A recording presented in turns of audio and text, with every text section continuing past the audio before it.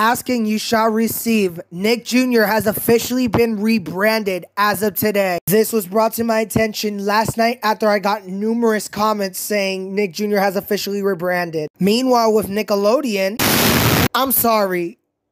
What? At first, I thought this was a joke, but I guess it's not. Nickelodeon are airing the 2023 MTV Video Music Awards. The VMAs are scheduled for Tuesday, September 12th, going up against NXT in the rating. Well, what's your guys on this? Are you going to be watching the Video Music Awards on Tuesday, September 12th? Let me know in the comments down below. And comment below who should take home a moon person as well. Shifting gears, Nick Jr. has officially been rebranded as of September 4th, 2023. And can you believe it's been six months since Nickelodeon has rebranded their channel thanks to the Kids' Choice Award. So now we have Nickelodeon, T-Nick, Nicktoons, and now Nick Jr. as a splat.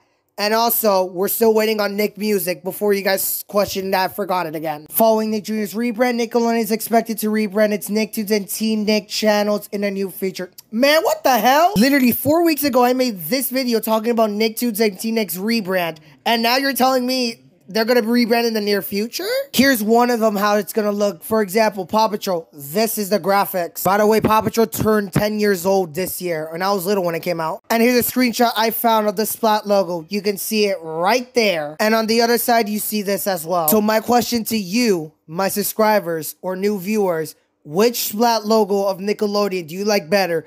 Do you like the old one? Do you like the new one? And do you like Nick Jr.'s Splat logo as well? And which Nick Jr. logo do you like better? Do you like the old one or do you like the Splat one? Let me know in the comments down below. Well, guys, that's a wrap of this video. Thank y'all so much for sticking up watching this video.